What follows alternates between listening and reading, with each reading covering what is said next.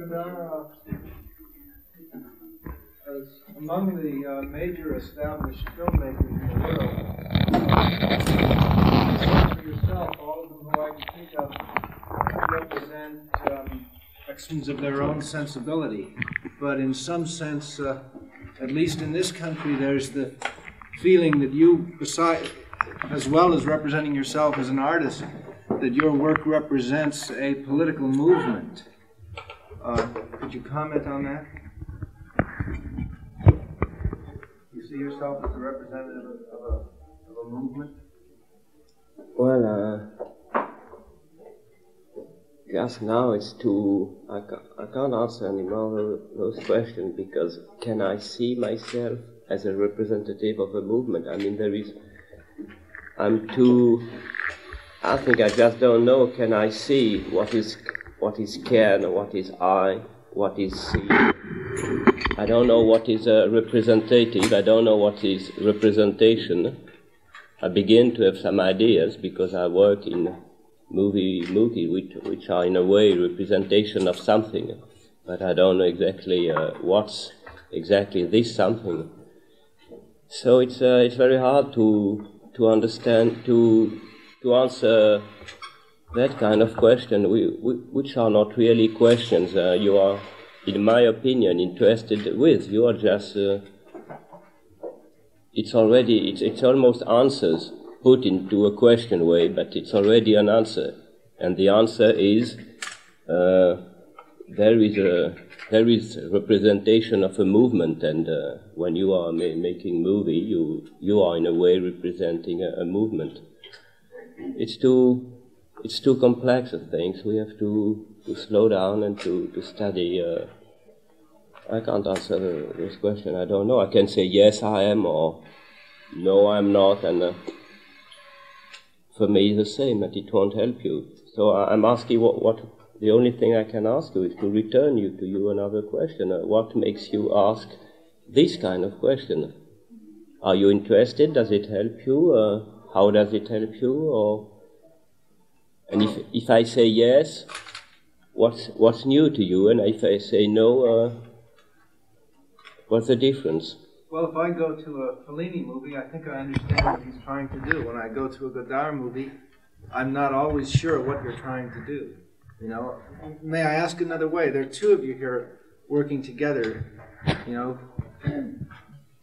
when you make films, Maybe, maybe let's begin that. Working together. What do you know about working together? You know about what's working together? I think I'm just beginning to discover because before I worked alone.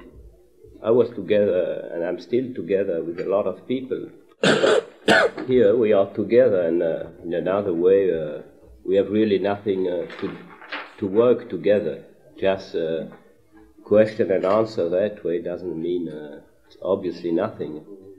If we ask if you ask questions and if we answer by answers, it's only a disguise to the reality, which is uh, which is uh, we have not really nothing to say. Maybe we are here, we, we just don't know why. I don't. At least I know why I'm here. At least because uh, I needed money. The only way to get that money was to ask uh, some American university, which are the richest among the world, if they were interested to show our movie, and if we came, if they can uh, give us uh, uh, some money. So there is a reason. It's not the only reason. There must be some underneath reason, uh, which we can discover from this. Well, well, why do you need the money if, except uh, in order to live? Well, this is uh, except uh, this is already this except is almost ninety nine percent of. Why do you make films? Uh, in fact, uh, there are two things. The, the first thing, I mean, at, at least in France, and we've discovered that it's exactly the same thing here. The big scandal is that we're making film, we're two to make films, and that we are saying and proving that we can we can be two to direct film. That's a big scandal in France because Jean-Luc has, on account of his previous work, revolutionized the cinema in such a way that the whole mystic of the author has been concentrated on him. And in France, people don't really accept at all that we are two to do the film. Even here, I mean, for, for instance, in Iowa, speaking uh, very, very precisely of the type of work we were doing, uh, they refused to accept it, and it appeared that it was only Jean-Luc who had said all those things. I mean, there, is a basic fact, and it's it's it's both aesthetical and political to say that we are two to make films. But it's something something important. We're not the, the only ones to do that in France.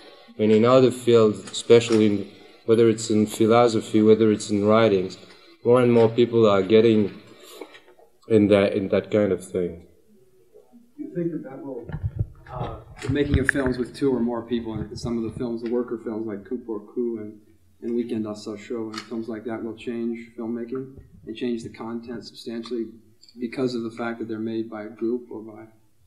I think basically, uh, yes. I mean, it's not. Uh, they, were they were alone. They were alone. They were not uh, in pour or in another movie like that or in a movie like uh, here, Salt of the Salt of the Earth, like Biberman, even if he was maybe related to the workers in, in such a way, he was still uh, it was still alone. He was still alone when when he was doing the movie, like the workers are alone when they are working, and. Uh, to try to be good together. I mean, the only the only the only reference is the uh, uh, the love uh, the love machine because uh, to make to, to love uh, to be in love with someone you've got to be two you understand it very easily because uh, you think you, you understand what love means not necessary to, to build the children just to, to build to, to build a, love machine you can't be you can't be alone you can't be alone. Well for the working machine it, it is the same. And uh, you can understand, I begin to understand how to, to be united on a certain kind of assembly line, which is an assembly line of images and sound, because this is the way a, a film is done, is uh, you edit, uh, you assemble the image in a certain order, just like in a, at Ford's, you are assembling cars in a certain order and in a certain speed. So you, you can understand how to, to be united on an assembly line. Uh, you get to get to, to be to, to be two. You, you have to think of you as two. This is what the new. Maybe you can be more, a group or a whole people. But I think uh, this is a, a very difficult thing, and that's why in the art business, if people are, are doing so, they are trying to, to separate you. I think the, the, the more revolutionary, real little uh, things I invented in the movie, the more I was inventing some who was really revolutionary, the more I was emphasized or focused on as an author, as a, some kind of a genius, or a god. And, and the two things uh, going together, it was uh, not possible to use it a revolutionary way, even if the move was uh, some kind of revolution, because on the other hand, it came that genius stuff who makes appear the whole of it like uh, God's creation, you know. The trouble with God, he was alone when he was when he created uh, the world. It's not a problem of uh, denying Jean-Luc's past. I mean, I, I learned movie throughout Jean-Luc's films, and when I wanted to go into the into filmmaking, I couldn't go to anyone else but Jean-Luc. And uh, the problem is that the, the, people we share something with, whether in literature, whether in paintings, whether in uh, in, uh, in, other fields, are people which who were whether exiled people, whether bilingual, whether people considered as schizophrenic. And in a certain way, the type of connection I have with Jean-Luc is uh, that's the connection between two type of madness. It's a certain, a certain way to put ourselves in a position of exile, to cut ourselves from our own cultural root and to connect things, so to bring new things on, on, on the stage. One interesting thing is that, for instance, in Tout va bien, most of the critics thought about it as a highly Godardian film. And in fact, the, most of the highly Godardian th- thing in Tout bien came from me. Because really, I was obliged to go back and what Jean-Luc had discovered and did, that it had, which he has forgotten himself, to try to bring those things back again and to, to give them a new content. I think the, the, the, the new is always coming from the old. That's why the films we're making are so closely related in a certain way and so different in another of the, the previous work Jean-Luc had, had done. So you, uh, you, you view Tout as a coming together of, say, uh, prior to the See You at Mao film of Godard's work and the work that has been happening since See You at Mao?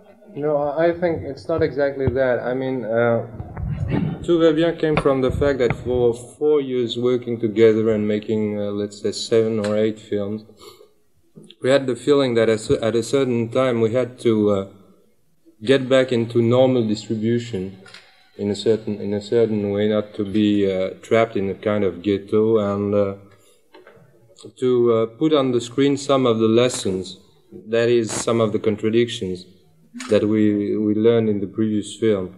So we decided to make a quote normal film. And to make a quote normal film is to be backed by stars. So that's why we went to Yves, and, Yves Montand and Jane Fonda. But because they're not only international movie stars, but they're international international movie star, color, politically connoted. Jane doing her thing here, and Yves being connoted another way in France. And we decided to have another star in the film, which was. Uh, the, the, the star script of all times, which is Love Story. And by the way, the first, the real title of Tout va bien is Love Story, which was at that time a very successful film. It's an attempt to, to, uh, to create a fiction which at each moment will uh, reveal its conditions of production and by, by that way, its condition of conception. I have a question. I was kind of intrigued by it. Our Sunday, local Sunday paper, there was a uh, cartoon by Johnny Hart. One, of the few funny things called BC, but it says, lady walks by and says, that was a perfect example of semantics action. What semantics? The caveman says, it's the science of conveying thoughts through abstract utterances. He says, the heck you say, it's true. And then it says, if it's true, how come she didn't redden my cheeks? Which reminds me of a couple of lines, two or three things I know about her, where you're discussing question of language and semantics itself. And I was wondering whether this uh, new film is coming as a uh, departure because one needs to get the revolutionary message across in another way, or whether having worked through much of the intellectual talk about uh, talk itself, you have found somehow the spoken word somehow inadequate. Because again, what I was thinking of is that that picture, in some ways, sums up much of uh, you know, what you've been doing uh, before because it's uh, you have been showing, I think, how language works in the film, and here you seem to me, me at least, to be explicitly talking about the theories Parain, Wittgenstein, uh, Merleau-Ponty, and, and uh, all of these sorts of movements. And then by the time we get to, uh, to Mao and things of this sort, the, the images cannot keep up with the words cannot keep up with the images, and so words have somehow become bankrupt. And uh, at that point, did you decide to go to a different kind of thing, or how do you feel about uh, about semantics right now? It's, it's very hard for me to to answer to this uh, how do you feel question. Uh, how do you feel about semantics? It is hard to me to, to answer. Like if you every time we are we, we are we are greeted uh, when we arrive in Portland uh, from Seattle. Uh, we are asked, "How did you feel about Seattle?" And then uh, tomorrow, tomorrow in Eugene, it will be, "How do you feel about Portland?" This is a really huge question. It will take me ten years if I really want to answer that question. What do you think about you? you so I'm I'm more interested to say, uh, but there is something the feel, the relation between how do you feel is the wrong things but there is something practical, it's the how question. How? But we, we are interested in the how question more than in the why question, because we think we, don't, we can't answer the why question uh, right away. Uh, why am I here? I don't know. I can't answer. It's too complex. It's, it will go. Uh, it takes more than my life to, to answer that question. But how am I here? That we can answer. How are we functioning here? Or at least, and that's why we are trying to, to do films today. Who will say how it works? How some things which we are dated, for example in Tout how France is working in 1972. What make France uh, work that way? It, and we show on the blackboard, which is used just as a, as, as a blackboard, uh, we, we put problems on this blackboard and we don't put faces. Or we use faces in, in order to put problems through faces because if there is only faces, we are completely mixed up. We are asking questions who you are and know how do you function. Well, referring to that question of language, I don't think there is a there is a basic change, but coming from things that Jean-Luc had done previously. I mean, in, in his early earlier film, I mean, to me, the most interesting thing that was that he didn't write a line. Everything was quotation from uh, even very casual things like "Give me the salt" or something like that, and uh, because everything was quota- quotation taken from books that Jean-Luc was reading at that time, and everything was a matter of montage, there was some sort of wiping out of any possibility for the actor to give a line any type of psychological depthness or so-called psychological depthness. You had that strong feeling in Jean-Luc's previous film that something was speaking behind the actor, and that something was made of torn elements of the society in its role, I mean, in, in its language. Well, when uh, we made that turn using uh, rather heavy Marxist statement or, or, things like that, I didn't think, I don't think it's uh, it's a big turn because it was using them exactly the same way that they were used before. I mean, but we, we, had, we had to deal with a certain theoretical background to try to understand what was really happening in our own life and in the society we were living in, which was France. And now we've made with Tout va bien a, a, real change in that sense that we, we've emphasized more on trying to write a certain type of, of, uh, of lines, trying to build a certain type of lines which are both realistic and unrealistic. We're mainly dealing with langage, with uh, the problems of langage all the time. I mean, but uh, right now, and I think in Tout va bien you'll see that it, it's it goes far. It, it begins to be far more simple, and at the same time far more tricky, because you have sliding effects inside the line uh, all the time. I mean, it's like the some kind of distorted language. I mean, going from reality to abstraction, theoretical abstraction, and then going back to reality and working that way. So more or less the same problem. In some of the early ones, you did have Jean do his own lines and so on. Film where he and the girl sitting in the railroad car. He's more, more or less giving his own lines about student the revolution in '68. I think the story had it. You, you, however, gave the lines to the, the girl who was the, the actress, but Jean Saulnier pretty much spoke in the speech. Maybe the big difference in, is that there is no improvisation at all in Tout va bien. What kind of a script did you work off of? Do you have a formal uh, script? Yeah. yeah. How did you? You talked before about a sort of schizophrenia. You might look at your relationship as a sort of schizophrenia. What uh, what face do you represent as that, and what face do you represent today, especially in relation to the film? Well, it's it's more complicated than that. There is a book which was published in France two, uh, four months ago or six months ago. We're deeply committed to, and we we try to work with the two people who wrote the book, and it's a book called uh, Capitalism and Schizophrenia. And uh, it's a very important book. It's a book made by Deleuze, Gilles Deleuze, and Félix Guattari.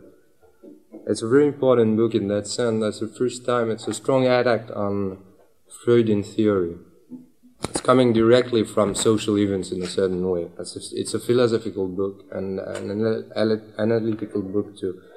But the, the main the main aspect of this book is to describe the whole capitalist machine, the whole capitalist system as a, as a schizophrenic machine, coding and decoding at an incredible speed and functioning only on the paranoia of the people.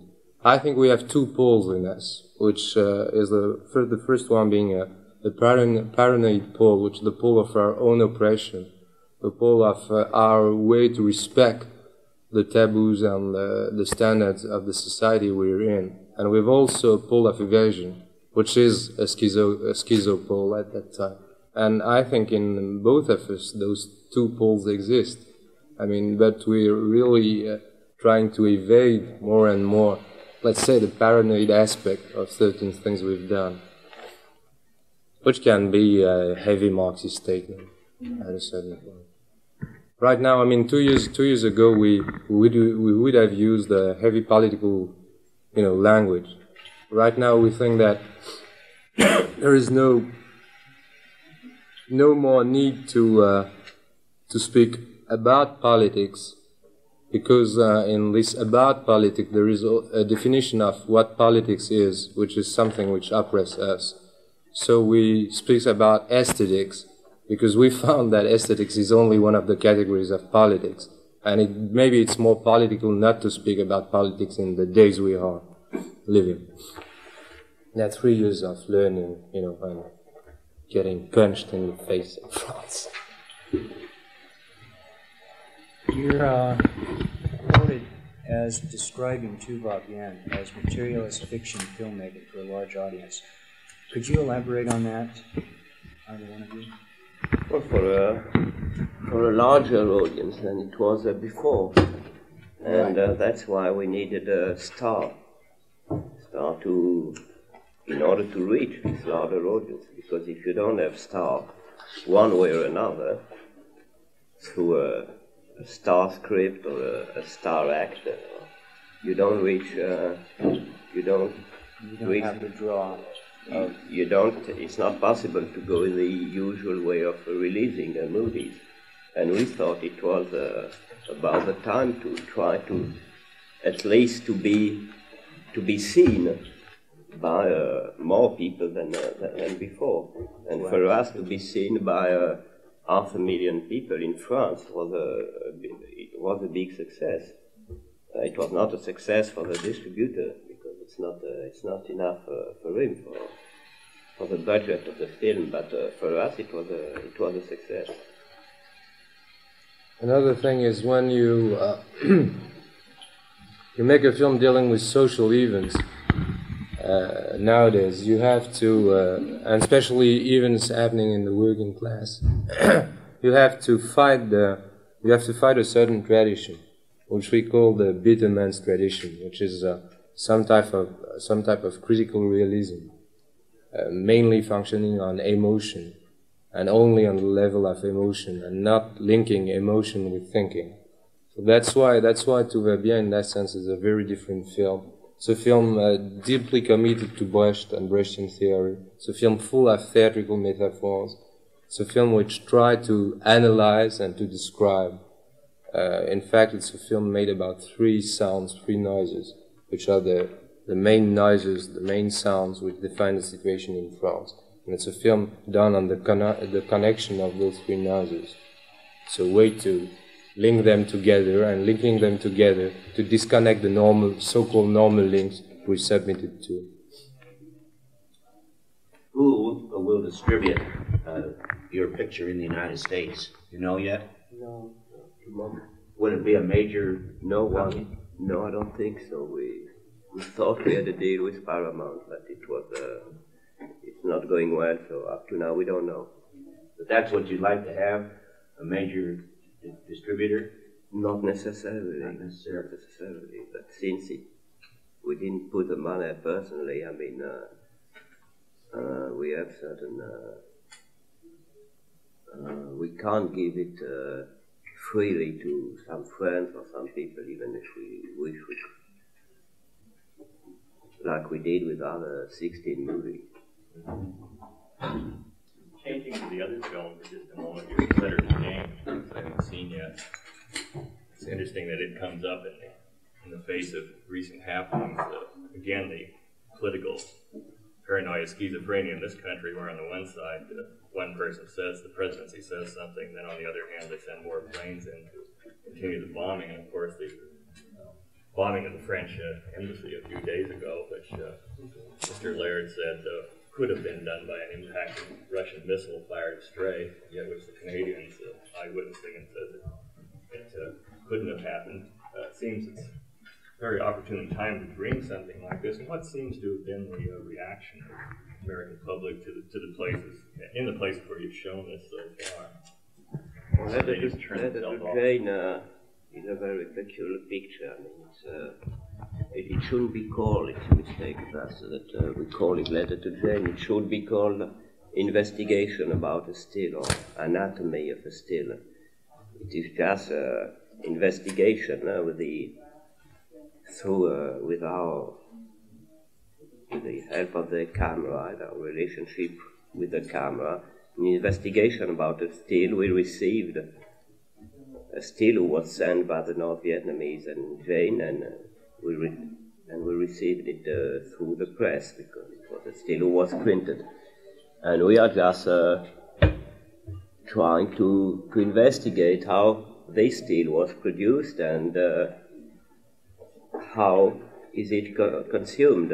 I mean, uh, how do we look on it when we receive it, where we are? And uh, we are trying maybe to, to say that uh, it's not nothing is not so clear. It's a picture about the it's a picture about the media. So it's a picture about a picture. And It would have been better to just to write on it in a, in a motion picture review, and uh, it would have been much better because it deal with space and not with time. The way things are put, uh, and this is the task of the motion picture review. But since uh, the journalists are are never doing this job, are never trying to investigate what is the relation between a line they are writing and a, a photograph uh, which is taking, and it's only the editor which is putting them together.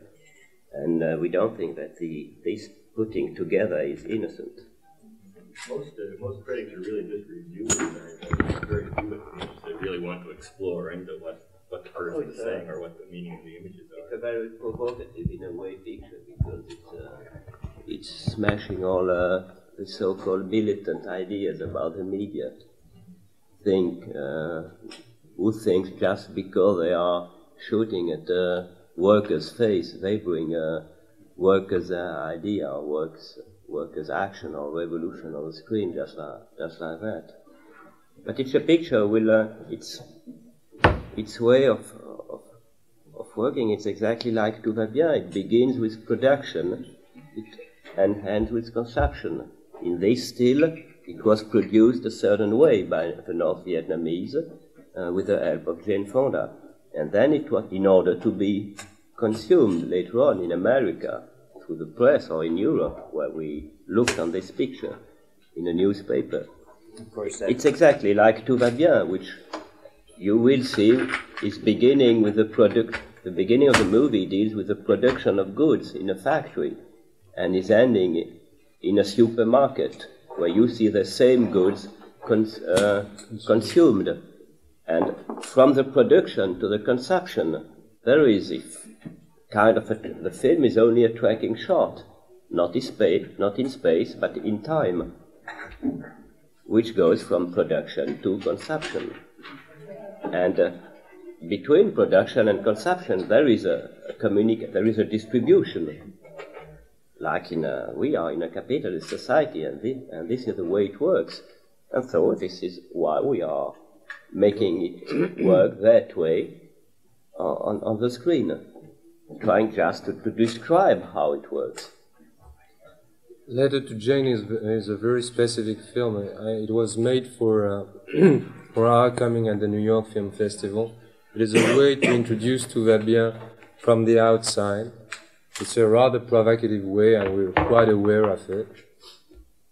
And uh, it will never be shown in France. I mean, it's uh, it's a film that we can destroy after our tour in the United States. It's a film which costed three hundred dollars and was shot in one day. It's uh, just an exercise. A, a few years ago, there were, were reports in this country that you were going to uh, direct a film called Little Murders, which then you didn't do. Um, did, did you really? No, I, wa- I was working on this.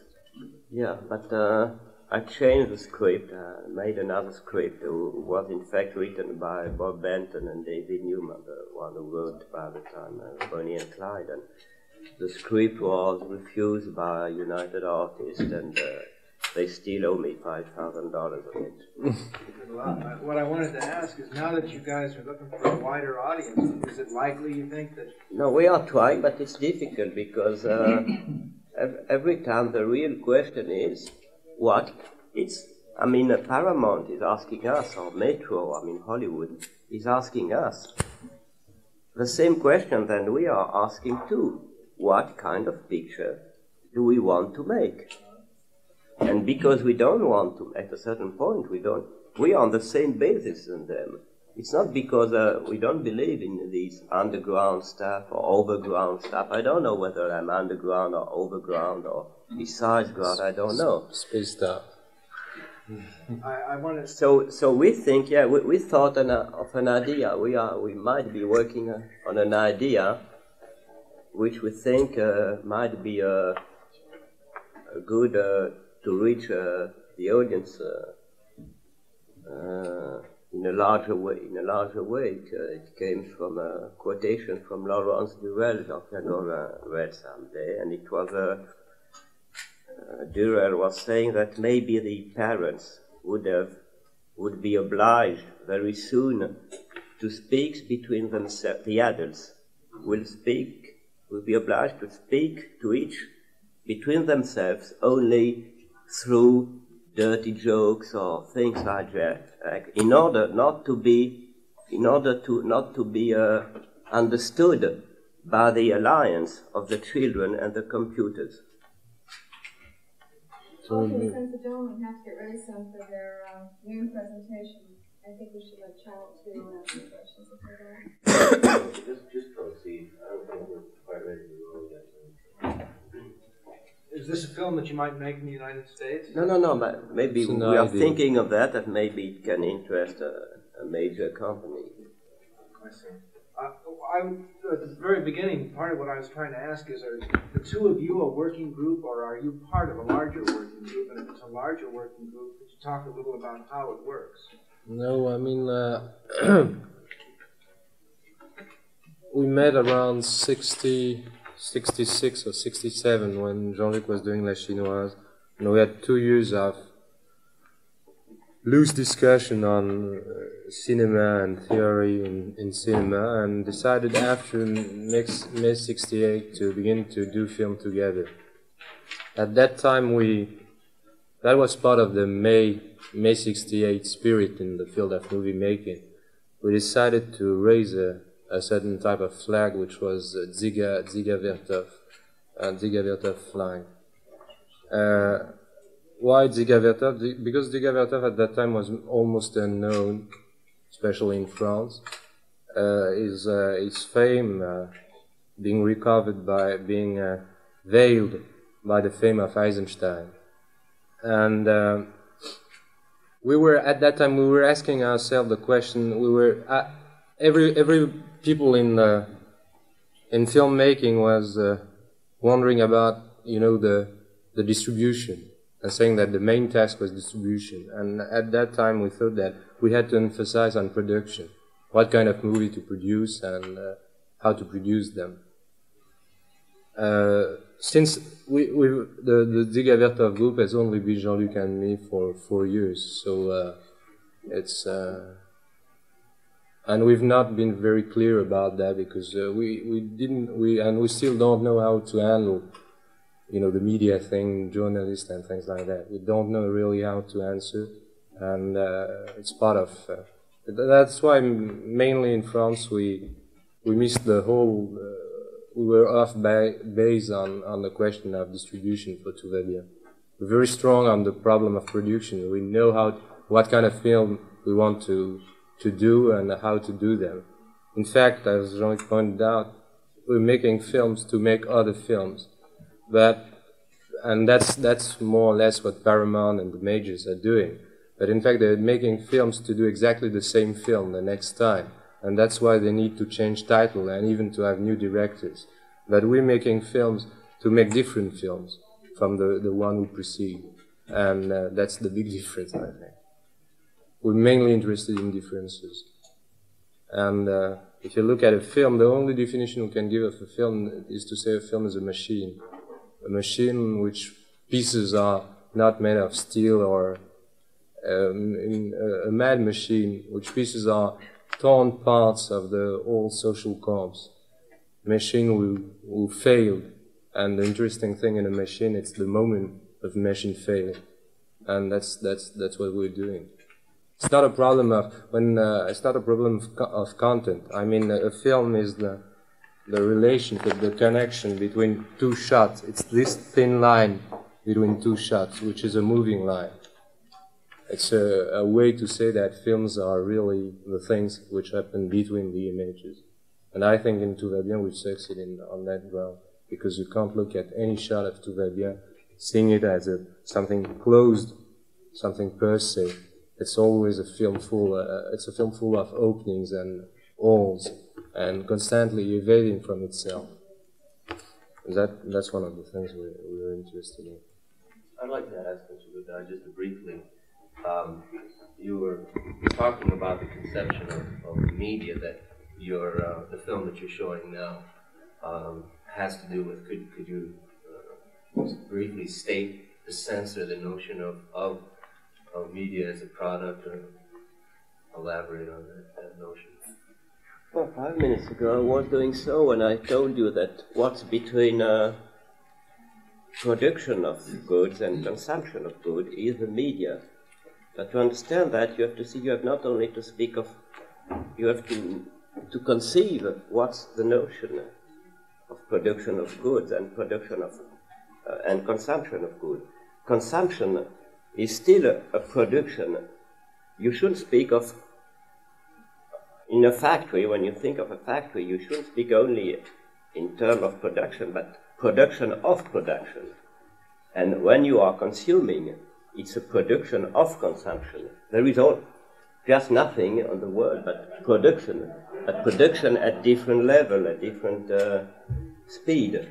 In the factory, uh, you have production of production, and in uh, in the life, in a in a shop, in a supermarket, or in a, in a love affair, when you are consuming your uh, your desire, you have production of consumption, and between them you have distribution, which you have to think of as a production of distribution. That's why movies are distribution, but they are a production of this. That's why we are called producers.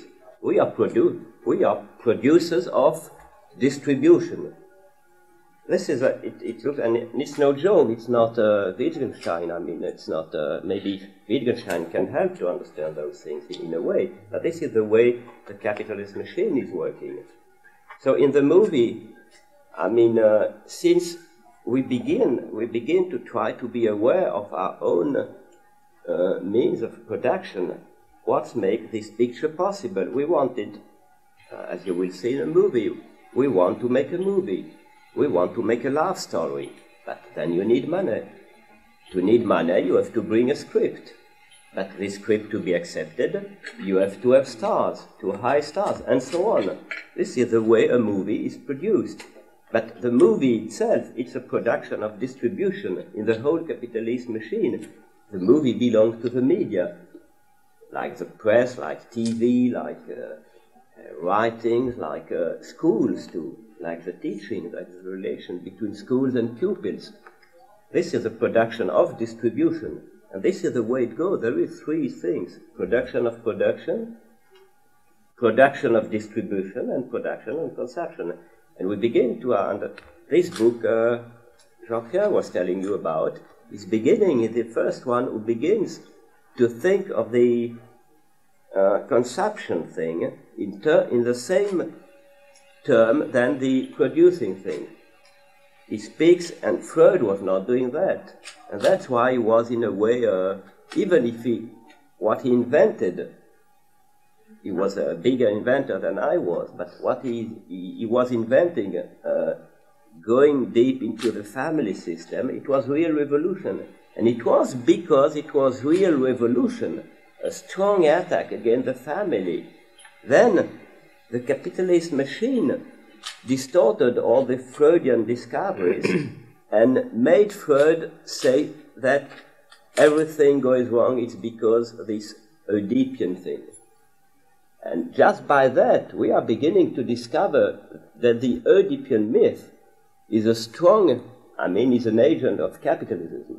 It is a way to reproduce the family system the way it works, just like in a Godfather. When it leads us to ask uh, to ask ourselves and to ask the audience very simple questions, like uh, what is what is framing? How how do you frame? How do you uh, how do you focus? Things like that.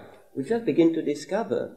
I mean, this gentleman, and I mean no harm against him, but if I'm asking him, what's framing? What's an angle? What's a close-up? And don't give me ready ready-made answer by dictionary. Just think of of what the relation was is just zooming on you in a close-up. What does it mean in terms of his desire? Because you want that and you want what the society wants in the same way. You see, there is a lot, of, we just begin to discover, I mean, because we are in the movie, we begin really to to be able to, to, to raise to ourselves, and then uh, with the help of the audience, new question from an aesthetic point of view, because it deals with directly with politics. I think when someone is shooting right, I mean right now, as he's not shooting really, he's shooted at. I mean, uh, you're not writing, you're written.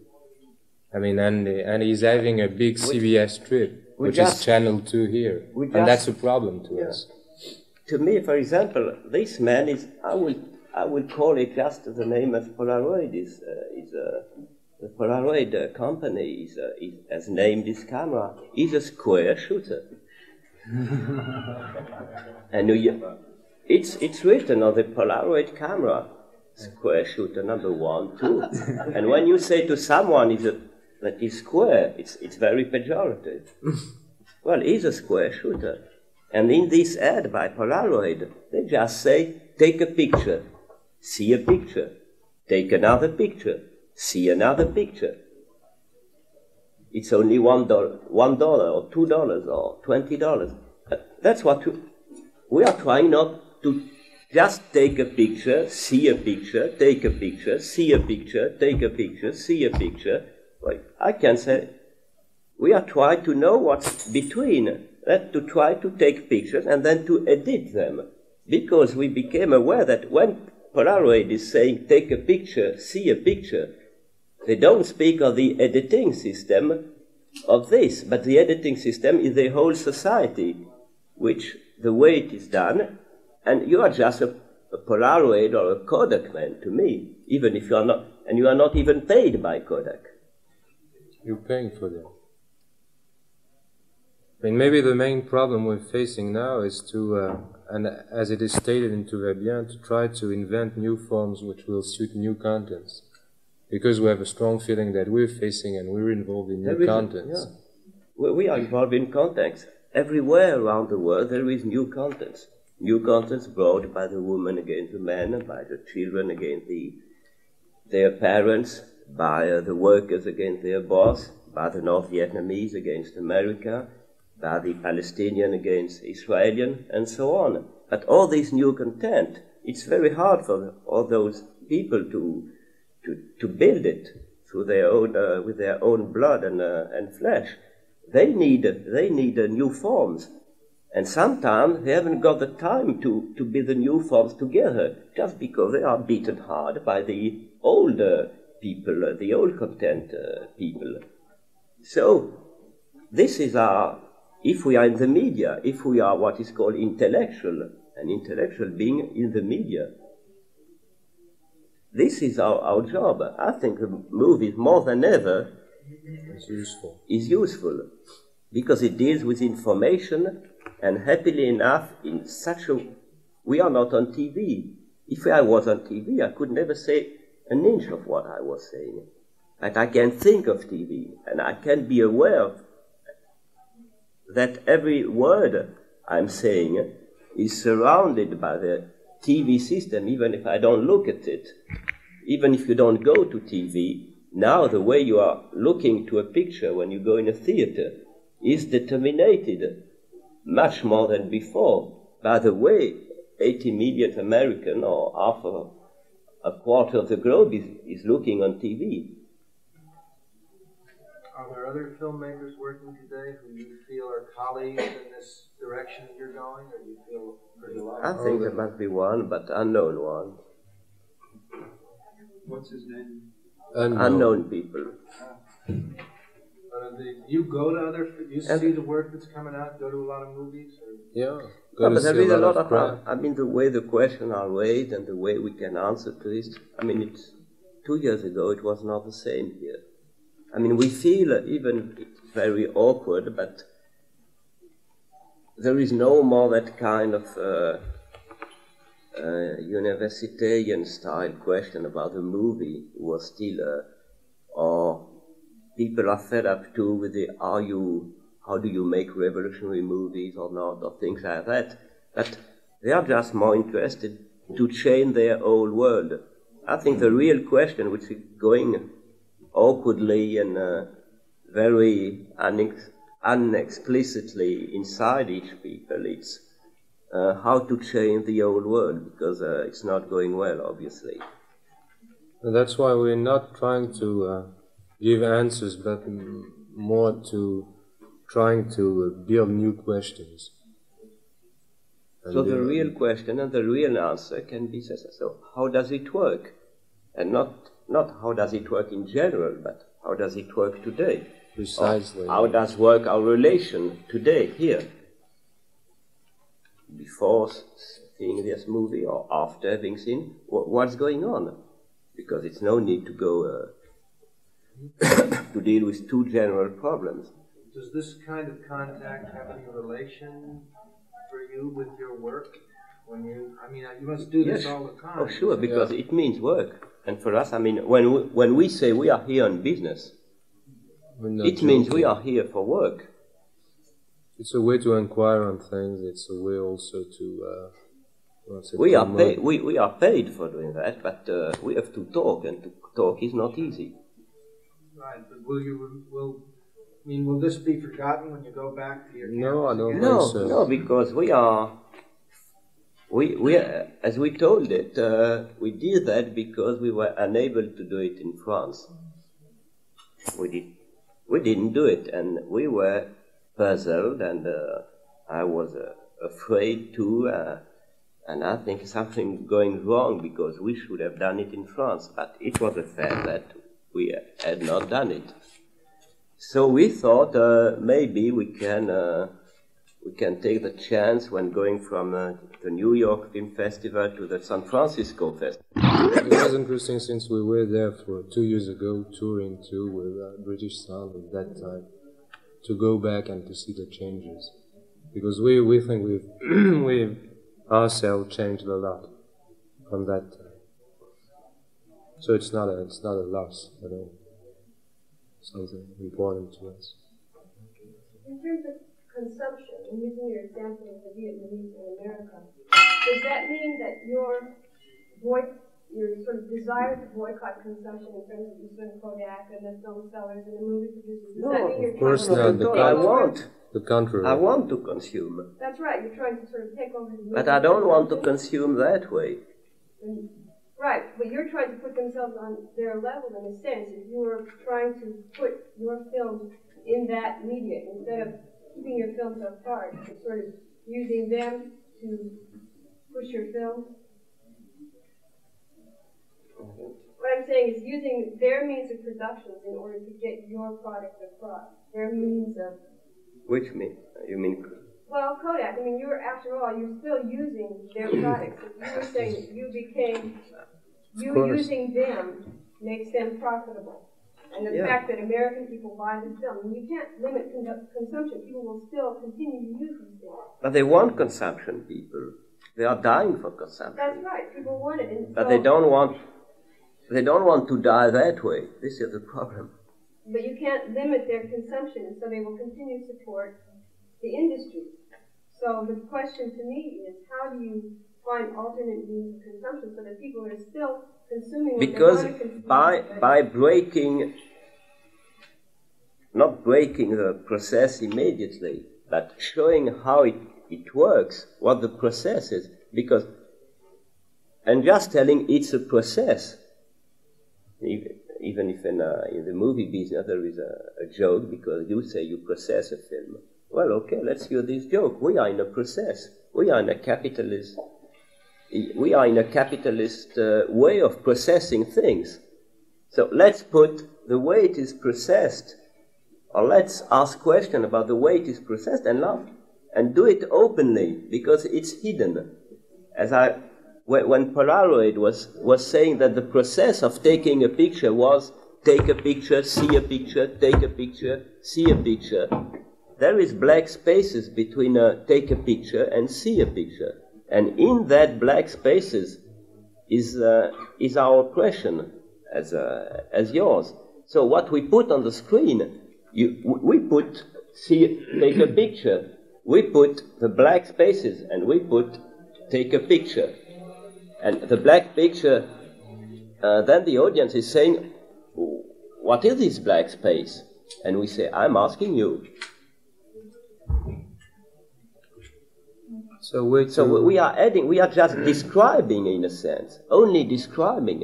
But description, if it's not, uh, if it's hidden by the capitalist machine who want to describe only part of it, just think of yourself. We'd like now to think of the, to tell to the audience that we are thinking of them as if they were movie makers, filmmakers. And that's what they are, in fact. Because you, you, you are, you have, you are both, uh, the tracking shot I told you about, goes from production to consumption through the media, through communication, through distribution. You are done with that too. And every day you are doing, you are building machines, a lot of machines connecting with other machines.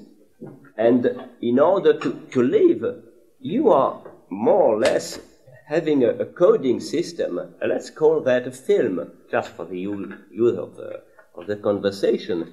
You are building your own, your own film in order to direct you, to direct, and this is no joke, we find very easily the way to direct you in this film and to direct you as a star. So you are both the director, the photographer, the screen. So you're making, you're teaching about film. in the movie. Not No, teaching, learning, no teaching. lear- not teaching anymore, but lear- learning, learning together. What we want is to learn together because we are together in this theater. It's a connection between two type of desires. I mean, as long as you you building your own little machines, crazy machines, in, in at each moment of your life, which will help you to live, you're related to the machine which is on the screen, which is a machine that we we both of us build. So it's a it's a type of flow. I mean, it's your own the the, the flow of your desire going to the screen and crossing the screen. This is a between our relation. We have a we have something in common. The things we have in common, we can only point it out as an external thing. This is a screen. You want to come here, and I want to come here, and our real relationship is through the screen. And because we deal with this screen as a objectively, we put problems on it pro- or we put emotion, but through problems, or emo- and, or, and problems through emotion, and then we can speak of us together. We are together because we are both uh, with this screen.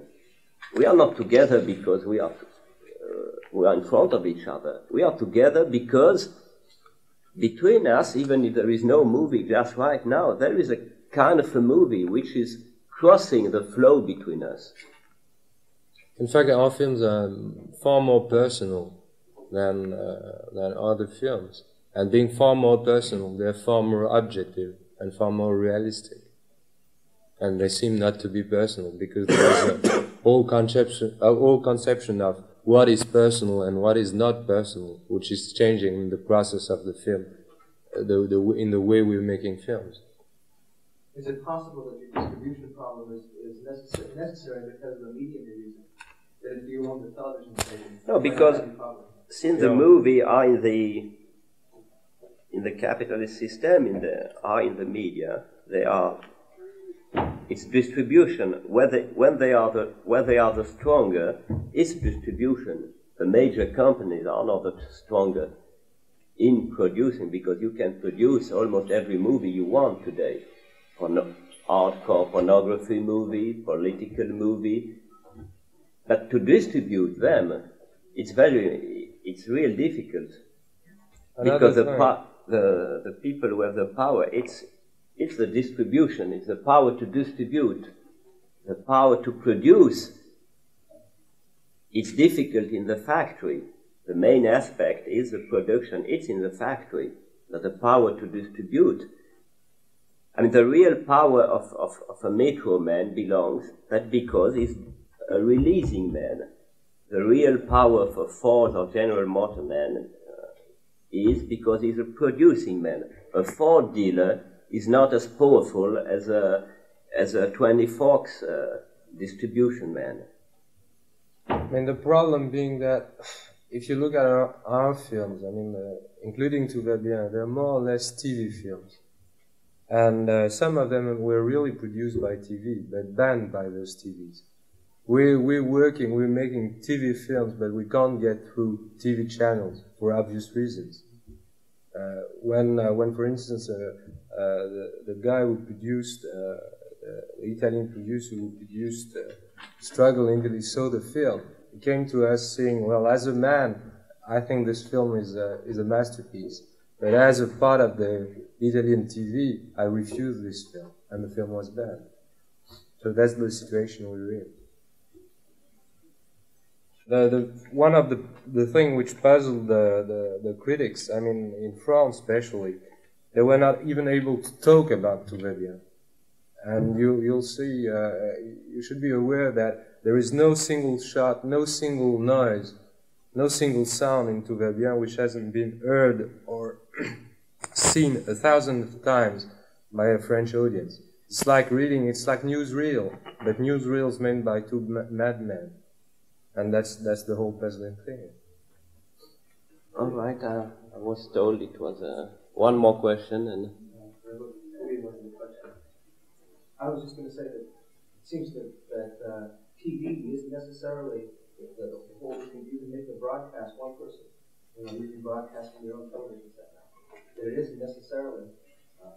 well, that's uh, up That's to now. I think it's a trick, and all this uh, cable cable system. I mean, it's just. Uh, Just a recorder, you know, a videotape recorder and your own television set. Is- is- And, uh, you mean working with video? that's yeah, a, we'll, we'll speak. problem. We'll speak of it uh, more longly because uh, it's not so easy. It's, it's not so. It's not so easy. You have to be aware of the condition of. Uh, you you have to to know and understand. You can bring maybe better to on any TV set any kind of movie, but then you'll deal personally with the person and. Uh, what makes you so sure that the people will be interested by your movie just because you are bringing it to him? Because after all, he's, he's receiving a hundred tons of images every day freely. So why just to, to get one more? It's not so easy. The problem with video is uh, that we think video is something very specific. I mean, video is cheap uh, in a way, and movie very expensive in a way. But this cheapness is only the the reverse side of the same uh, the same uh, piece of money. And it's not- because it's cheap; it, it means negative instead of positive, expensive. It's it's not that because up to now it's precisely because it is cheap, then it's done exactly the same way. the people are shooting with video more, just more stock than they were shooting with camera. That's all. They are, instead of being Kodak men, they are Sony men. Up to now. And the real, uh, the real uh, winner is the stockholder.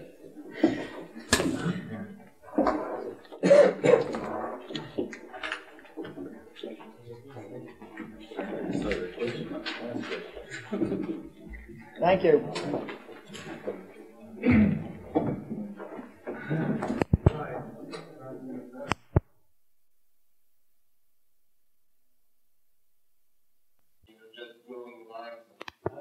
Certainly, uh, we will remark that the main aspect of this supermarket was the long line will remind us of the cash register line, which remind us just like an assembly line in a car factory. Instead of cars, it was just cash registers.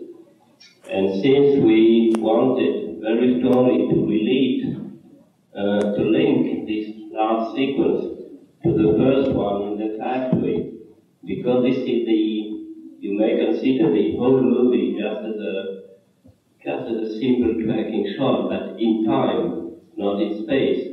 And uh, the shot begins in the in a factory at the beginning, uh, at a very precise moment when the factory is stopped.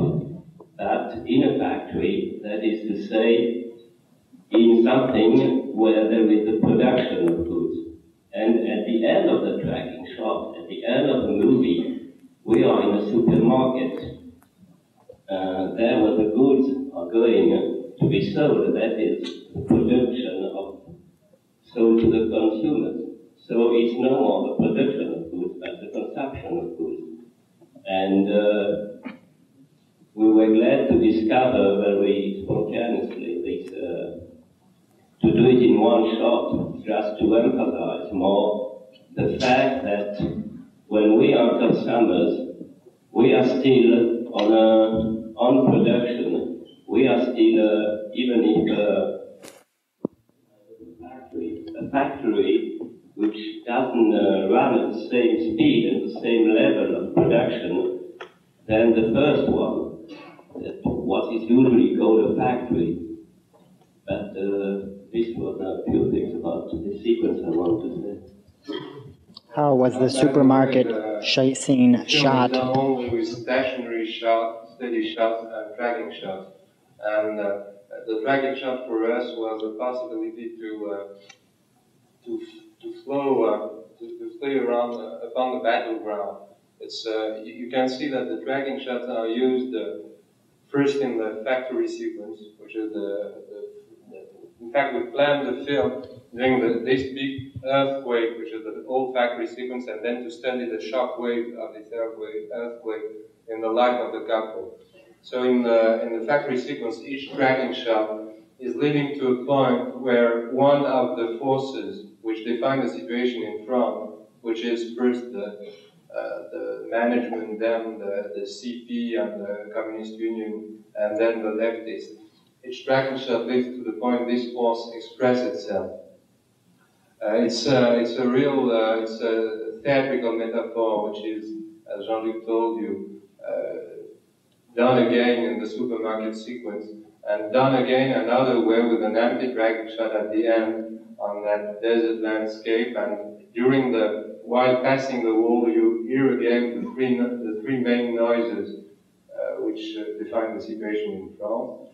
And it's put between a certain type of parenthesis between those, uh, this incredible sound, uh, song, which was uh, a hit parade at that time uh, in uh, musical music scene in France.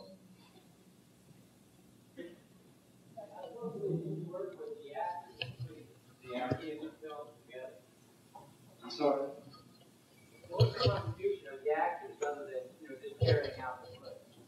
The question is, how closely did you work with the actors? In, in what? And what was the contribution? In carrying out the idea of the film.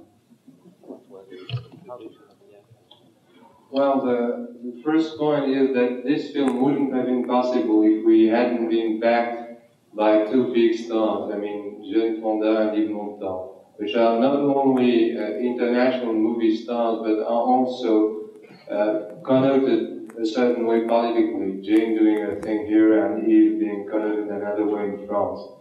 We couldn't have made this film, for instance, with Alain Delon or Catherine Deneuve, but that's only impossible.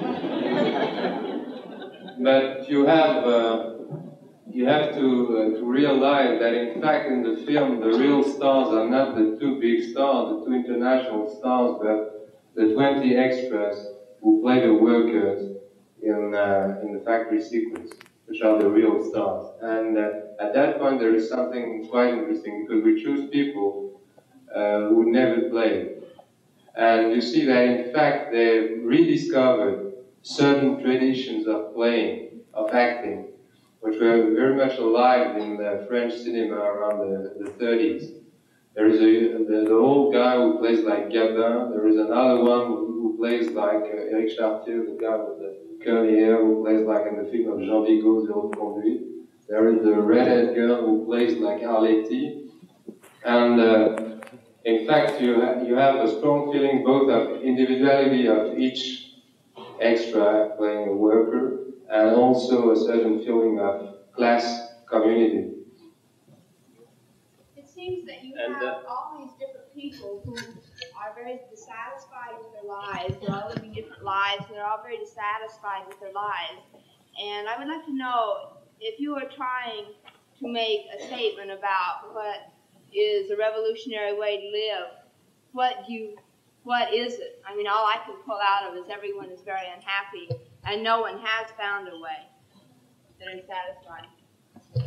Yeah, but in order to find a solution, we think now we have to be not to pay us with words and uh, not to put statements on the screen because uh, up to now we, we, it's not we are not dominating the statements we are making each uh, each day or even each second, even when uh, you put a statement like uh, "I love you" or "I will uh, pay you what I owe you tomorrow." This is statements which, which we, we are dominated by the statements instead of dominating them. So I think we have to try to avoid any kind of statement and try to put on only the process of uh, who will make us able, maybe later on, to put uh, to put some statement. So we are considering the black We have no message to deliver, and uh, we are just using the uh, this white screen as a blackboard, and uh, we try to put problems on it through faces because this is the way the movies are are, are, working with and through faces, but only problems. We try to to put the how questions and not the why question, if I may say so, not to answer the question who are them and who they are, but how they are and what are they doing.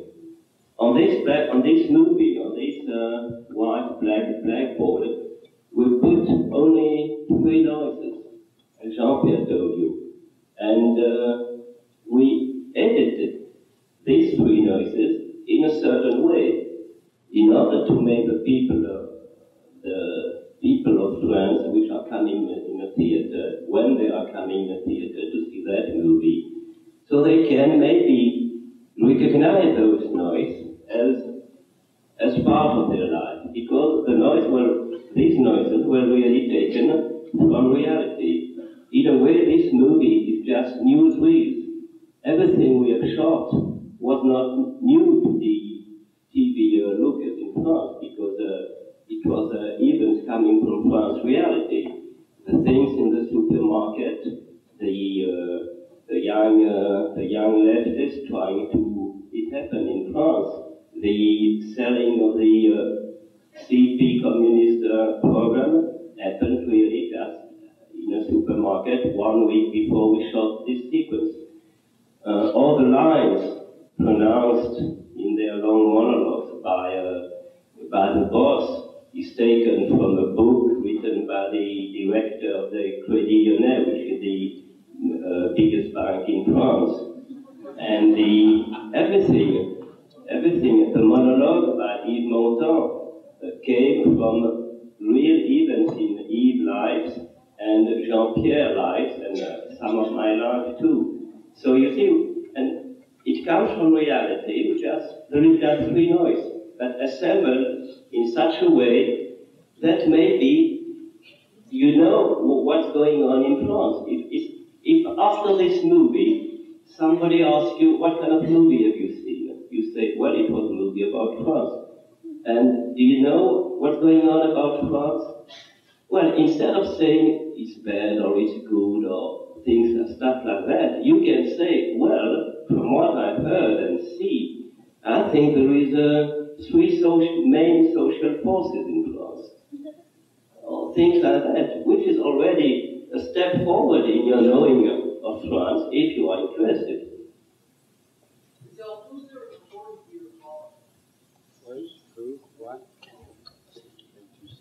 What was the question?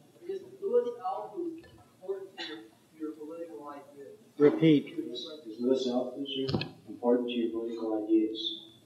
Well, I don't know if the people in the audience knows who is that Louis Althusser, but uh, the fact the fact is that uh, we know him. Uh, I think uh, know him, been working more or less with him or reading his texts even when they were not published. It's not it's not obvious in this film. It's more obvious in previous film we've done, especially in Struggle in Italy, which is film that you haven't seen yet, which is not released yet in the States. But uh, we know him and we discuss with him. That's that's not the main contribution to to the film theoretically. Did Jane Fonda have some impression on you, make some impact on you in terms of feminist consciousness in this movie? In terms of what? Feminist consciousness. Did Jane Fonda have? Would you repeat that? Jane an impact on you in the feminist this movie? The part of consciousness? Well, uh, I, I don't think it's exactly Jane. I think it's more our own personal life and the way they were set on fire by the fact that the women who were living with were involved in the movement.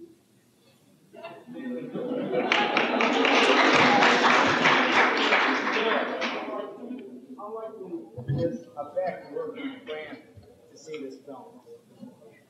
How like how likely is a factory worker in France to see this film rather than you know ninety percent? The question is, how likely is it for a factory worker in France to see the film as opposed to, say, students? Well, I, I think it's just like here. I mean, the, it's a fact that here the movie is shown in a, in a state university and not in a private property. The workers, the working class, wherever it is in the Western world, are mainly looking to movie or their TV receivers and not on the theaters. Uh, in France, it was released commercially, uh, you know, uh, because uh, the money was uh, given by the biggest uh, French distribution company, which is uh, a Gaumont, and, and, an Italian uh, co-producer. So up to now, the film has been released uh, commercially and in the usual way by uh, by Gaumont and, uh, in France and in Italy. It was not a success for the distributor, but for us it was because for the first time with this, with, with what we consider a new, a new way of making movie, even if it's a very tiny step forward, it's already for us a new, a new way, and it was important to try to reach by that time five, uh, almost five years after the major events of 68 in France, to reach more people than we have reached before with uh, other, with other movies. And uh, on the on the question of the the reaction of the workers, I mean, we, we had uh, some inquiries because uh, some workers were closely related to to through uh, three years of cinematographical practice. Uh, I've seen the movie. Um, uh, the first thing is they were uh, really, you know, delighted, if I can say so, by the fact that we had uh, cope with the realistic tradition, which is the normal tradition of film dealing with social events. They were, you know, very glad that for the first time a film about workers was, was not made in the way Biberman made the Salt of the. But they made a main critic, and this main critic was that uh, our way to uh, look to the working class, our way to uh, portray it, was uh, too black and white. I mean, uh, we were just saying that workers were the good guys in the film, and they personally don't feel like that at all. I mean, uh, when they when they go to a factory and they explain that speaking about this movie, and each time they go to work, they feel real mean and real bastard because they know they're going to lose their life, and they really want uh, some of these contradictions to be explained. Well, uh, we'll be working on that in the next movie. Another problem, with your conception of reality that struck me, and that's the idea of portraying the director as a complete buffoon. Whether or not the language is actually used, I mean, with the theory exists among the ruling class, yes, but does not the comic relief aspect of that director undermine the seriousness and the strength of the opposition that is actually faced, not some weaklings running around in office buildings pissing out windows, but who can easily be, uh, you know, kicked out you know, by by jokes or songs, but a real serious, deep social problem, which I think was run out well in advertising and supermarkets, etc. Well, uh, it's. Uh, yeah, what is the question there? I mean, no, but I answer, I'll answer it because there, there is a real problem. Uh, I, I think if you, uh, it's a certain type of, how do you say that in English? Décalage. Uh, there's a certain sliding effect. I mean, uh, but the fact is that we were in a certain way trapped by the way uh, Vittorio Caprioli, the guy who is playing the, the, the boss, was playing, is a, is a fantastic Russian actor.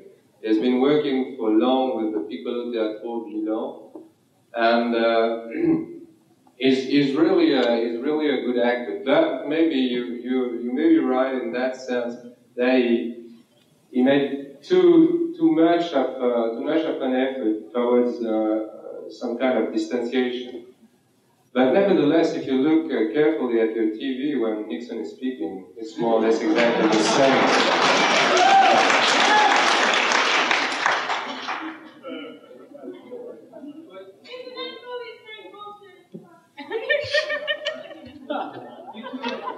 Go ahead. Very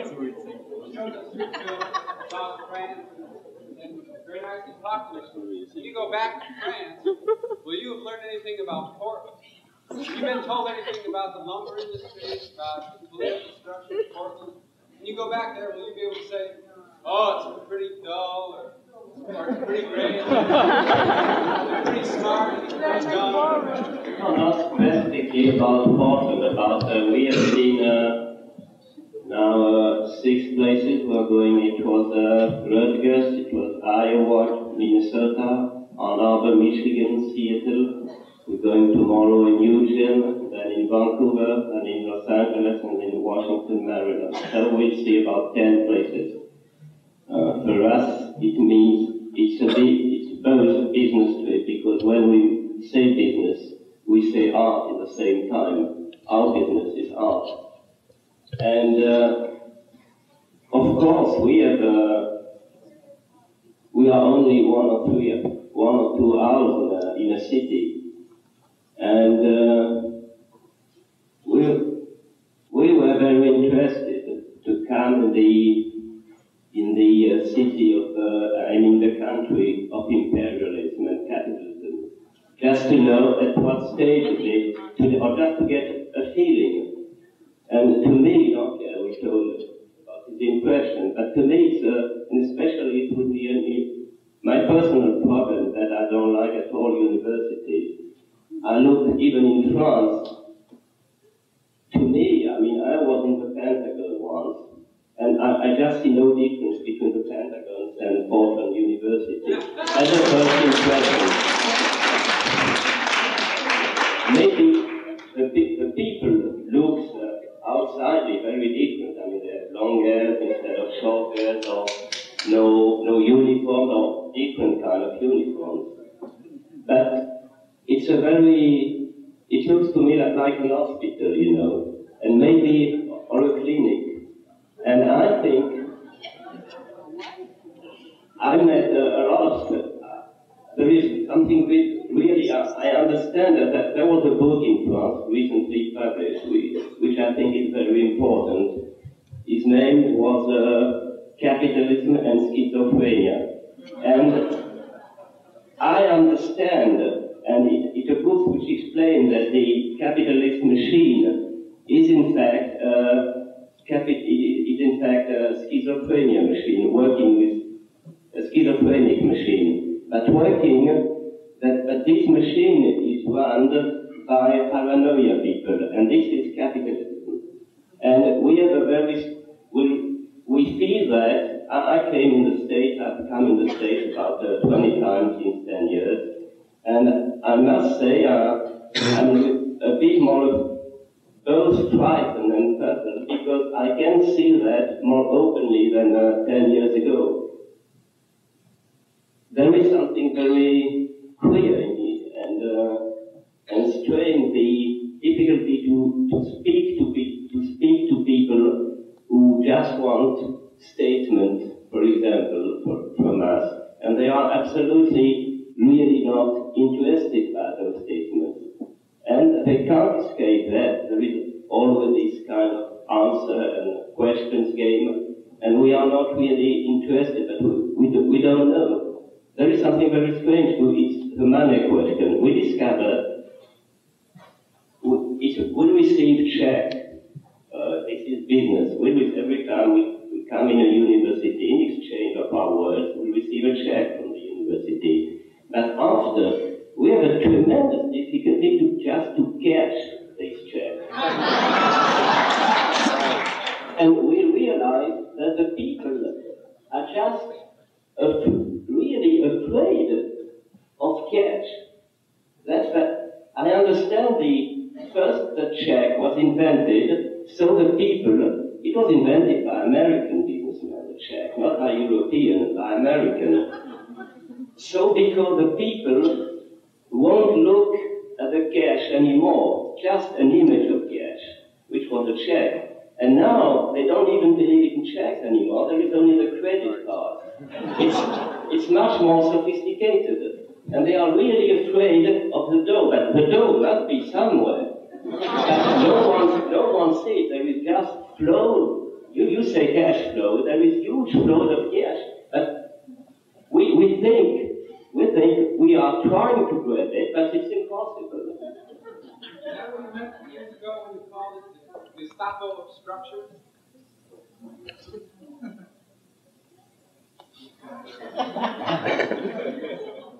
Please, back to the picture. What was your personal history toward making the picture? Uh, no, what do you really mean? I mean, can you be more precise? Things that happened to you which prompted you to create this uh, in your own life and how this was an expression of that. Did you find your own honesty misguided after 68? What? Uh, I'll answer this question first. Oh, so okay. Well, you want to talk about directing, teaching directing in trying to know honesty, it's directing. Could you speak up? Want that honesty to get effective? That's why you film. Okay, we will reply to uh, The first thing is uh, after uh, after '68, after the May events, we decided to do film together. I we we met around '66 when Jean-Luc was making La Chinoise, and we had two years of theoretical discussion about filmmaking.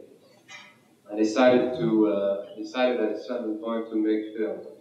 The film we made, we were uh, quite clearly aware that they were made for 20 or uh, 100 people at most, because uh, at, at that time that was a way to cope with the general tendency among filmmakers after the May events to think first in terms of distribution, but not in terms of production. So we decided that the main question was production, how to produce certain film and which type of film to produce. So we worked, uh, we worked doing uh, seven films together, and uh, most of them were produced by TV and banned by TV. Uh, and that's that's one of the problems because if you look carefully to bien, Tout is a TV film, but in fact we can't do those TV films and pass them through the, the, the, the channel of TV. The main change was in fact to work to work uh, together, to be two to, to work. I mean, it's, uh, it's still for us, uh, it's a big scandal in France. In fact, it's something quite normal. I mean, uh, there is no no filmmaker who making a film can think about himself in in terms of uh, an author, as a writer or as a painter. Because when you speak, when you're making a film, you deal as much uh, with aesthetics as you deal with, with money and dollars. The, the, the same, the words are, you know, as often used. And uh, one interesting thing is that personally, I mean, I couldn't do film with anybody else than Jean-Luc because he had really uh, shaken up the whole cin- cinemat- cinematography tradition. And uh, I wanted to work with him. And but because especially he was a revolutionary, he has concentrated on him all the myth of the author. So that's why people don't really uh, get into the fact that we're two to make films, and that's the big change. Yeah, the big change for me was to to know that in order to to do something new, and in the movie, since I was in the movie, was not to invent a new camera, or to invent a new uh, way of uh, editing, or to uh, to take, or to invent a new way of acting, or to write new scripts. At a certain time, I just find myself uh, in the impossible, complete impossibility of inventing new things. And then I was, uh, I, I heard very near me the huge noise of the major events in, in France. And at the same time, somebody was coming to me asking, uh, I want to make a movie. And I said, okay, I'll give you some money if I have and uh, uh, make your own movie. Or, and he said, no, I want to make a movie. I want to be two to make a movie. I don't want to make a movie alone. I don't want to be an author alone. I don't want to be a, an artist. I don't want to be God on the set. I want to be, I want to be two. And to me, it was a great discovery. And I begin, I began to, to understand that in order to be better myself, I need the real need, and this was a social, uh, it came from the social changes in, in France. The real need, I really need someone else to be better, better me, if I may say so. It was a great discovery to, to discover that uh, when Jean-Pierre is inventing uh, something, for example, I'm glad to work on it. Uh, six years ago, I was jealous. I always wanted to be the first one to invent something. Now it's something which is which I really don't care. And because of Jean-Pierre, for example, with uh, through my, if I think of my uh, sexual life, I can understand that with the woman I'm uh, living with. I can understand that uh, if I want to be the first one, I mean, she's, uh, I can understand that she wants to, and so we have to be two, and it's work. And I can begin to understand love as a as work too, or work as love.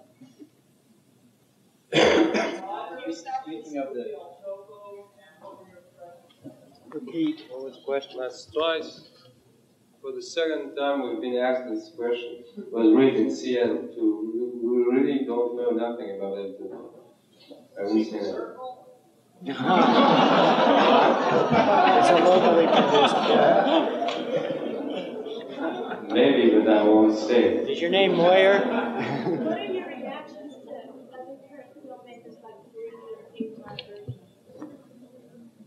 and Reactions to other filmmakers.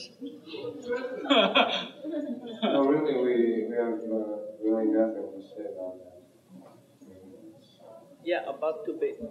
I think these things about to be too is very funny because it's uh, it happens this morning again. You know, it happens first. People really what's hurt the people, what's hurting the people, or the critics, or the usual people who think of movies, that we are really two. There is two directors, and they just can't understand that. The there is a, a company which Unifrance Film, which is in charge of the advertising of French film outside the country. And uh, it's a company who pays the tickets when French directors are going to festivals. And this year, uh, we were invited to New York Film Festival, and so they had, uh, this company has to pay the tickets. They refused to pay the tickets because they said there is, can be only one director. So I went to, to see them. I say, well, if it's a question of money, since we are two, pay half the ticket, but pay two times half the ticket. And they say, no, they refuse. This morning, we went in an interview in a small uh, TV studio right here. And when we arrived, we saw uh, interview with Jean-Luc Godard. And I said, there is two director. An hour ago, we spoke for- an hour of that. So will you kindly put the name of Jean-Pierre Gorin? They couldn't find the letters. and so there were no credits. He said, okay, we'll add a chair. So it's not over. Okay, we'll add a chair. So there was two chair, And we said, the director, he ordered to the cameraman, when I say you to begin, you begin with this first. You see? Anyway, that's bullshit.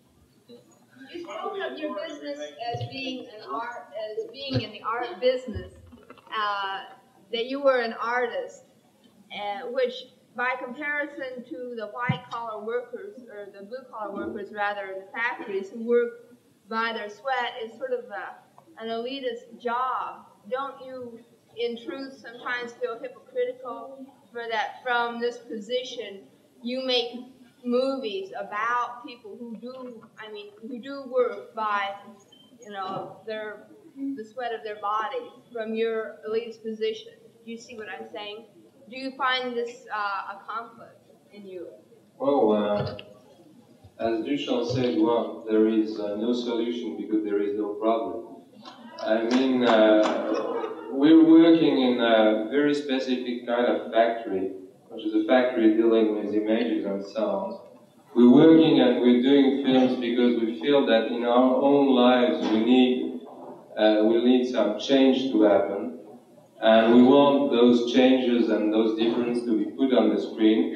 We're working to talk to people and to talk to people who had to listen to them.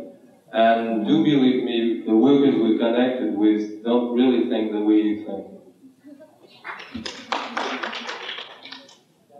The more we always try to be more specific, to speak where we are and not where we are not. Even if we are, when we are in a theater, we want to speak of this theater, not just because, not just uh, the name of the theater, but what the social uh, things going on, how it, how it works. I mean, uh, what makes us sit here and talk, and what makes you come here. Because if we can settle uh, what are we doing here for an hour, maybe uh, at home or in the factory, we'll be more able to know uh, what makes us go in the factory and be, and be crazy. You be willing to go over Jane Fonda's logic one more time when they, when the argument or discussion first began? What her logic as opposed to his concerning what made up their life together? Okay, he enumerated the things that they did together, and then she Pointed out. further pointed out. Would you go over that one more time, if you're willing, and sort of clarify? Well, okay, but tell me the things which are not clear enough for you so I can uh, try to answer. I didn't understand the point that she was trying to make beyond what he was saying that they did together. I think it's rather clear because uh, Yves, speaking of his life with uh, with J- I mean, uh, of Jacques speaking of his life with Susan, uh, he said, "We are doing three things," and Jane, very just as a child, uh, could show him that when uh, where Yves is seeing three things, three images or three sounds, Jane is seeing ten.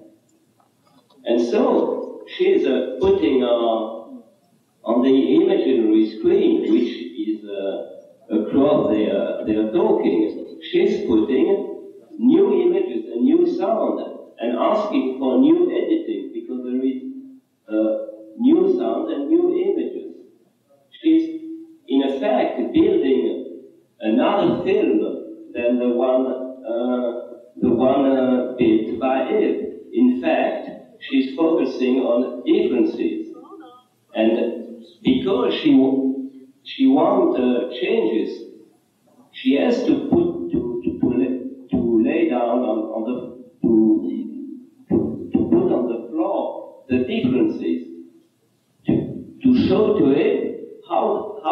are different, and then because they are different and what the difference is, what the because when you are interested in differences, then it means you are interested in changes. And it's because in this sequence or in this movie, Jane was really, uh, the character played by Jane was really uh, interested in differences because she just couldn't uh, stand uh, the kind of stuff she was working on. She was stopping. She couldn't write anymore what she was paid for, for writing. Instead, Yves said, was in a way still, even if he say, I hate commercials, since it was with those lovely girls with stockings, he deals with his desire, and nevertheless what he said, he likes it in a certain way. Think it was a good point you made that if he had decided and they had both decided and agreed that this was more honest work to work as the commercials, but he'd been resting on that for three years and wasn't accepting any change. He wasn't ready for change, and she was. That he was resting since four or five years, there is a there was strong need for him and a strong uh, likeness uh, to this kind of business. What we feel about this sequence in, in fact right now? I mean, there is there is a difficulty you should be aware of. This film has been made nine months ago, and it's uh, very complicated for us to uh, speak about a, film we made nine months ago because we're absolutely elsewhere right now. And uh, one one point is, uh, I think the thing which is not satisfying in, uh, in this sequence that we're still thinking about and about sexual sexual relationship in terms of production, and it's not it's not complete. I mean, you need to uh, think about sexual relationship in, in terms of consumption, in terms of exhaustion, and uh, it's uh, it's a more more tricky thing. I mean, we'll be working on mainly in the in the next film, and the fact that in a sexual relationship there is a an element of huge irony because the, the sexual body, the sexual corpse, is in fact made of elements of the social corpse that distort this very hand, which is touching a camera, is going to be and connected with a pen, which is writing a script, is going to be connected with the ass. And when you shake my hand, you don't know if it's full of or not of sperm because I masturbated myself two hours ago in my motel room. And there is a there is a huge irony that we can work on. I think that's that's why uh, the, the, the ruling class and the ruling ideology was so afraid about you know uh, anything which was uh, connected with the, with the sexual life. What a relation of authority between the two of you and the, between the two of you and your cast? Well, what, what we what we discovered was the fact that uh, and we didn't discover it really. I mean, uh, Vertov, uh, the flag, the, flag we raised three years ago, Vertov said it a, a more proper way in his time. He was saying, well, there is three stages in the process of making a film. There is editing before the shooting, editing while, while you're shooting, and editing in the editing room. So we spent a lot of time uh, in the first stage editing before the shooting. That means that all the members of the crew, but in this film it was not possible. We were mainly, you know, having priorities and mainly working with the guy who made the photo of it, the, the photograph of the film, with Armand Marco, and who's been working for, with us for four years, and with the the, the editing the editing girl we used. So. Uh, I mean, it's a, a, way to involve the people in, which are involved in the process of the film from the beginning. So not to, so that they won't be afraid when on the set, because we co-directing, when huge fight, I mean, a huge disagreement aroused between Jean-Luc and me, they, they will be able to overcome and just to, to see the it. It's a, it's a way to change the whole hierarchy of filmmaking never make decisions about what appears on the screen, or just to it? Uh, no, I, uh, for precisely for this film, for a very obvious reason, because Jean-Luc Villeneuve, because all uh, thousands of problems happened, uh, they were not able to be involved as much as we wanted to. But in the previous film, for instance, they had a, we, not, we were not using big stars, and that was another problem. We were really involved in them, and they had their the speak and the and it influenced a lot uh, uh, the kind of uh, things uh, Did you have trouble bringing the film to America in terms of, of like, with the subtitles? Like, do you do the translating yourself, or does somebody do it outside of you? And, and what do you feel about somebody deciding what to, to, to translate of your words? I mean, for the for the subtitles of Tulagia, the first draft was done by a guy named uh, Noël Burch, and the second draft was done by David Newman, uh, the guy who worked with Robert Benton and uh, Bonnie and. And I think the, the subtitles are pretty good because they're very casual and uh, it's it's a good word for us. I feel, I feel rather defensive by the, the final comment of the film, Gail, to the media. that seems to me to be a statement which, which you say you're trying to get away from in your film. I felt defensive about the last Just statement in try the to film. put it in a paragraph way, and since it's, uh, I've been wanting these things to be to be said, and then John here with it, so he will explain.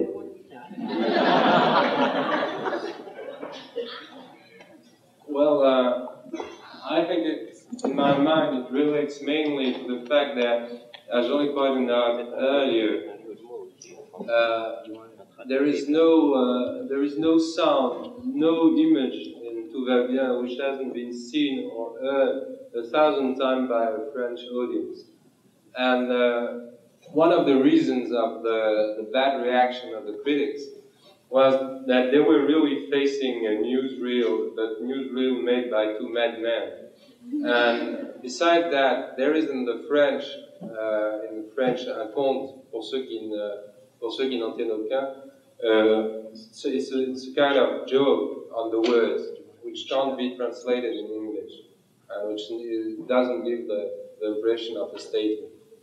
The comment at the end said, seems to to set you above the audience.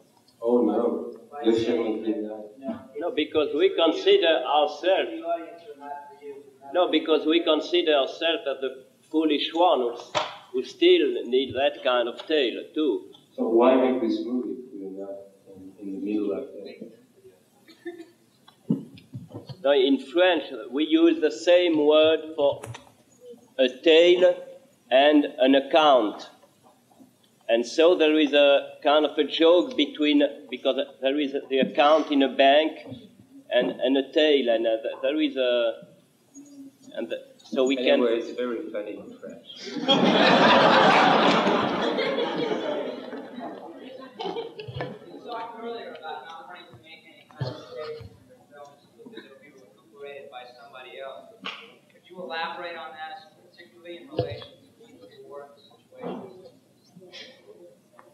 Well, I think, and you can see clearly into yeah, our problem is not to uh, raise answers, but to try to raise new, new questions. so uh, it works on that level. We're mainly interested in disconnecting the so-called normal links which our lives are submitted to. In, in this way, we can't just describe a, a film saying, well, a film is just a machine, but a very special kind of machine, a mad machine, because the pieces of this machine are just torn parts of the whole body of the society. And the interest of a, a film, a film machine is the fact that it's failed at each moment. I think there is a, a key sequence in Tout which is the sequence when the guy is painting around the painting and then painting in the painting. And by the way, this sequence occurred by chance because uh, we uh, choose we had chosen for the set a very uh, heavy blue, and when the film was processed, it was uh, getting on the rushes almost dark, almost black, and we decided to use a, a lighter blue, the blue the guy is is using to paint around the painting. And uh, seeing the rushes, we had the idea that it was impossible to direct the people a better way. So we had the idea to have this guy painting around the painting. And in fact, it's a perfect image of what the film intended to be, because the people we share something with, whether in literature, whether in painting, are really people uh, of whom you can perceive that their, their gesture is going outside the page or outside the painting. Bien is a film full of openings, and in English, openings has a, both a sexual connotation, a political connotation, and other meanings too. And uh, you can't look at the frame of Tout uh, per se. It's always something evading from itself. I think films are really, uh, a film is really made of the connection of things. It's a matter of scotch tape, nothing else. Well, these kind of efforts uh, were part of the movement, and uh, the movement is France is in the same uh, uh on the same uh, state than it is uh, here. All the movement, at least we are still two, and only two, and we still feel very much alone. And we just try to speak of our loneliness from a different point of view, try to try to speak where we are.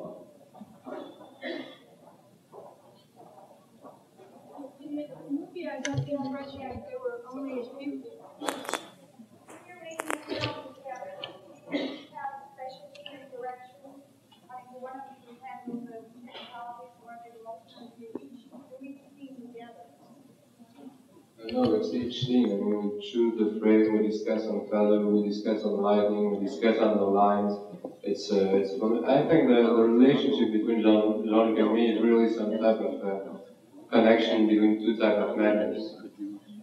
And uh, it's it's not it's not by chance. I mean, the people we really like, whether in writing or whether in uh, in music, are people which were whether exact people like Joyce or bilingual people or uh, people considered by the society as uh, schizophrenic people like Artaud. And uh, that's that's what the, the kind of thing which was with Jonathan. Uh, could we have just one more question so we can get on with letter to Jane? John introduce the clock. Yes.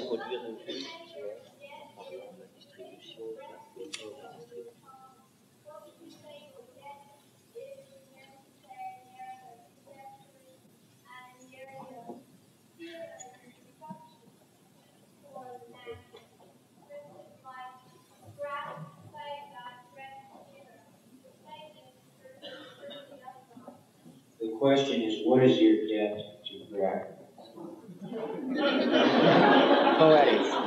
Well, uh, obviously, uh, obviously, this film is deeply committed to Brecht, and uh, this is this is one of the difficulties and one of the contradictions we're we're we're facing.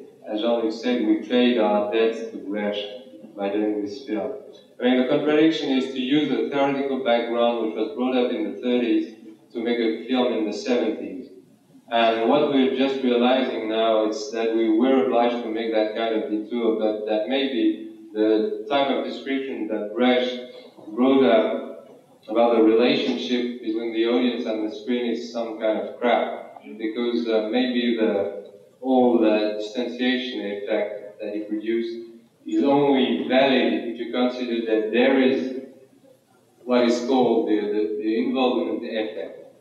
And we think that really the relationship between the audience and, uh, and the screen is not at that time. Because we have a strong feeling, and we have it here right now, this precise moment, that there is no two filmmakers in front of an audience of people who do not make film, but that you are all filmmakers in the sense that in your own life, at each moment, you're building those type of machines that we're, we're trying to build with Tout va bien. And that the relationship between you and the screen is a kind of uh, flow relationship. Something you, you're not just diving into the screen, you're crossing the screen. It's, uh, and in this crossing of the screen, there, there are effects which are produced. So for us, there was a detour Brecht, but maybe now we will have to be working on the same basis. So I just add a few words on uh, an introduction to a letter to Jane. Uh, a letter to Jane is uh, a picture we made just to try to not to introduce va but to speak of va in a different uh, in a different way with the audience. It was done specifically for for the American audience and no French uh, version of it. It's a picture we've done in one day, which cost uh, three between three and four hundred dollars. It's related. Uh, the real title should be investigation about a still or anatomy of a still. It's a picture made with one still, a still which was produced by the taken and produced by the North Vietnamese and Jane Fonda during uh, Jane's trip in Hanoi. And uh, we are just raising some question or trying to know how was it really produced and then how was it distributed.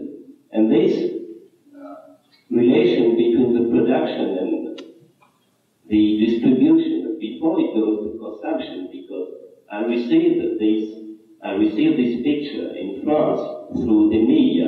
I was looking at it. I was in the act, uh, the act of consuming it with my eyes, with, with my eyes, and uh, it deals with the same problem of Tout va bien, because as I pointed out, Tout va bien, there is three parts. First part, there is the production part, the factory, and then at the end, there is the consumption part, the supermarket. But between them, there is there is the called, what's called the distribution of goods, the way the goods are, are driven to consumption, and they are driven through the media, through advertising business, in, in or journalists, and that's why we picked up those two jobs. And these are where the intellectual, the picture are not which the people who are working not with their with their hands but with their their heads are working school, and university. We could have uh, picked up instead of a man uh, being in a, the advertising business, we could have uh, put uh, Yves as a teacher in a university. It would have been the same because it's a university, you know, it is kind of advertising uh, for good. And so, uh, the media, this picture, anatomy of the state, is a picture, inqui- it's an inquiry about what's the media. And since what's the media is a huge question, there is a million and millions of images and sound uh, distribu- distributed all over the so-called uh, free world that we, we, we use the, we save the time, but we use it when, when, when we say save the time, I understand it that saves my time, saves your time, and let's take our time in order to look just at one still put it under microscope or telescope, uh, whatever you want, because a, a lens is a kind of microscope or telescope. So this is a, a scientific experiment. And something more is a kind of provocative picture. And if we are asked, why did, why did we do this picture? For whom is it? For what kind of audience? We say this picture is done for the 10 or 20 people which will remain in the theater at the end of the picture. So don't feel obliged to stay generally with young smoke out after the first 10 minutes.